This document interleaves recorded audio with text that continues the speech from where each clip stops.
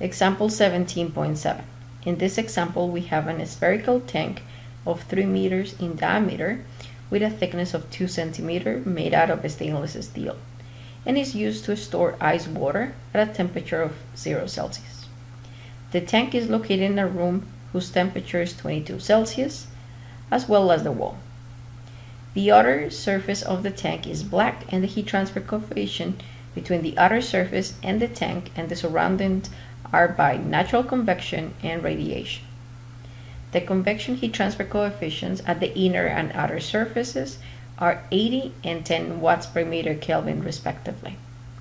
We need to determine the rate of heat transfer to the ice water in the tank, as well as the amount of ice at 0 Celsius that is melting in a, temp in a time of 24 hours.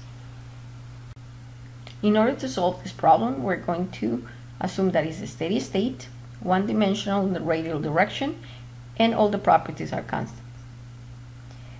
In order to solve this problem, we're going to do thermal resistances. Inside of the tank, we have convection resistance, which we're going to call Ri, and that simply, we're going to have Ri is simply going to be 1 over Hi and the surface area that is internal. The second uh, resistance that we have is R1, which is the conduction resistance taking place on the thickness of the stainless steel tank.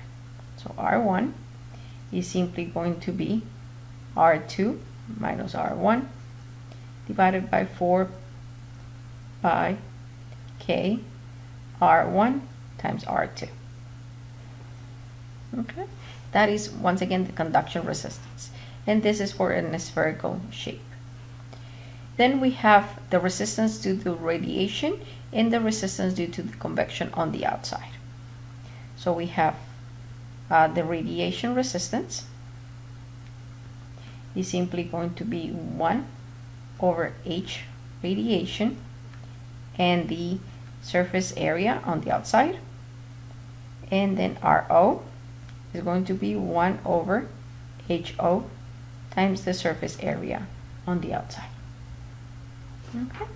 So notice that we have to do a little bit of calculations for us to be able to get all these resistances. So the first thing that we're going to do is uh, geometries. So we have area 1. Area 1 for a sphere is simply going to be pi d1 square. We substitute the values, we get 28.3 meters square. Area 2 is going to be pi d2 square. So now d2 is simply the internal diameter that you have plus twice the thickness of the tank. We substitute those values once again and we have 29 meters square. So notice that we have we have all the values so we calculate Ri. So we could just calculate it. So let's substitute it and start solving those values. Ri is going to give us simply 0.000442 Celsius over watts. So we're able to calculate Ri. R1, we have all the geometrical quantities and we could substitute them. R1 is going to be once again conduction and it's going to give us 0.00047 Celsius over watts. Okay. We're going to move into the outside convection since we do not have the radiation value the coefficient, coefficient for radiation. So we're going to start RO and then we're going to go back to our radiation.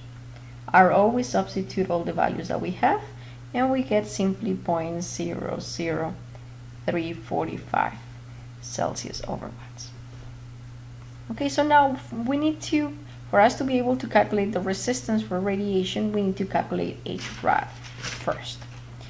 So if we go back to what we learned in earlier chapters, we, we know that the value of the radiation, the coefficient for radiation is going to be epsilon sigma t at the surface 2 square plus t 2 square t2 plus t infinity 2.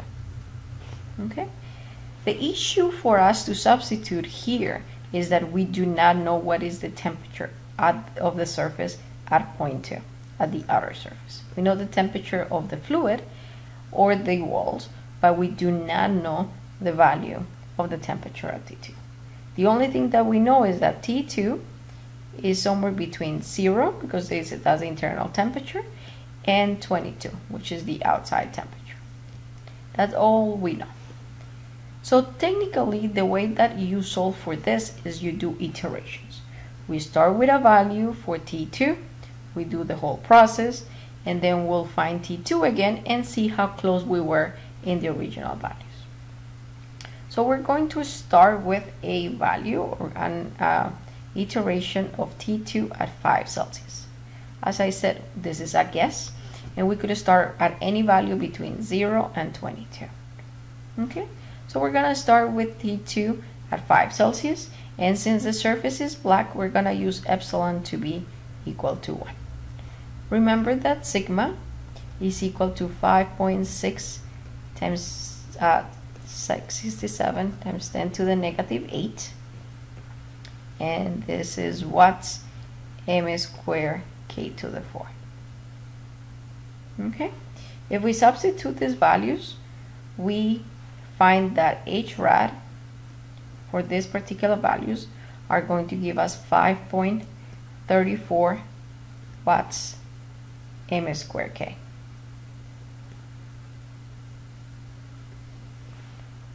Okay? Now whenever you have these values then we find the value of our radiation so the resistance for radiation we go back and calculate it and we find it to be 0.00646 Celsius over watts. Now that we have the value of all the resistances, we're going to solve this thermal circuit. Okay, so the first thing that we have to do is find the equivalent resistance between the parallel uh, resistances that we have over here, the radiation and the external convection. So we're gonna do R equivalent 1 is going to be simply 1 over RO plus 1 over R radiation. We substitute all those values and we find that that equivalent resistance simply becomes 0.00225 Celsius over watts. And now we have three new resistances in series, Ri, R1, and the new equivalent. And then we find that the summation of all of those, so the R total, is going to be all the values, as I said, R1, Ri plus R equivalent 1 and that becomes 0.00274 Celsius over watts. Now this is the value that we're going to use in order to solve for the first question, which was what is the total amount of heat transfer across um, the sphere or the tank. So we know that Q dot is equal to T infinity 2 minus T infinity 1 those are the two values that we know. And the resistance in between them is the one that we just calculated. And if substitute the values, we find that the value of Q dot simply becomes 8,029 watts.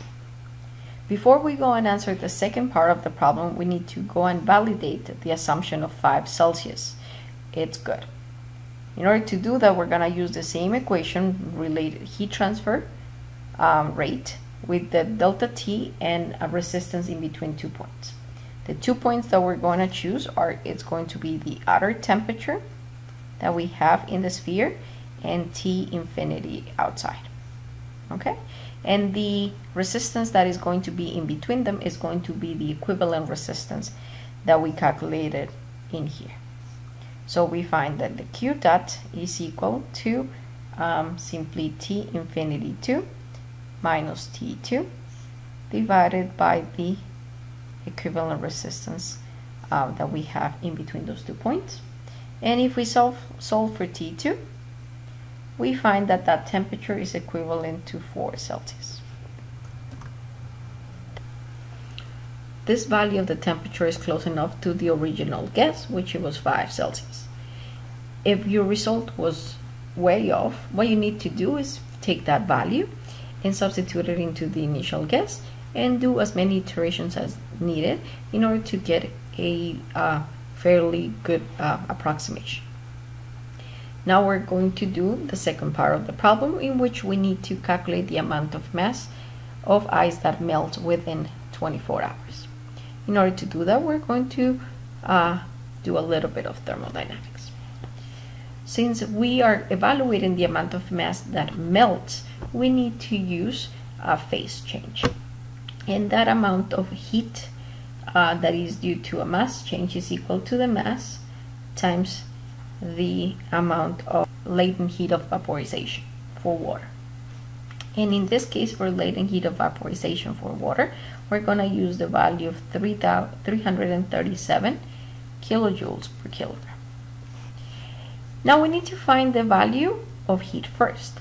The value of heat is simply going to be equal to the amount of heat rate times the total time that is taking place. The amount of heat that we calculated was 8,029 watts and we're going to multiply it by 24 hours and we know we are going to do a conversion that in one hour we have 3600 seconds. In order to solve this, please remember that watts are equivalent to joules per second. So now hours and hours canceled and seconds and seconds cancelled and you left with joules. So if we multiply this out, we find that the value of heat is 693 700 kilojoules. Okay, so now we're going to use the equation that we have from thermodynamics to find that the mass is equal to the amount of heat divided by the latent heat of vaporization. So this is going to be equal to 2,079 kilograms. A very large amount of ice, but keep in mind this is also a tank that is about 3 meters in diameter and the total time is 24 hours.